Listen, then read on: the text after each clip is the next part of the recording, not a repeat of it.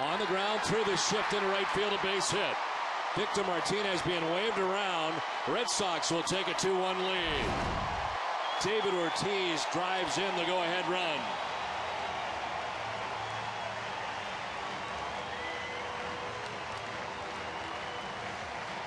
Uh, Red Sox with a chance to have a real big inning here against the Orioles. Still nobody out and two runs in. David Ortiz gets a low fastball out over the plate and pulls it through the shift.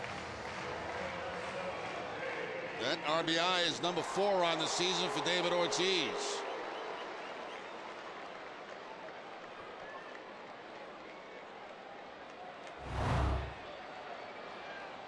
First and third, nobody.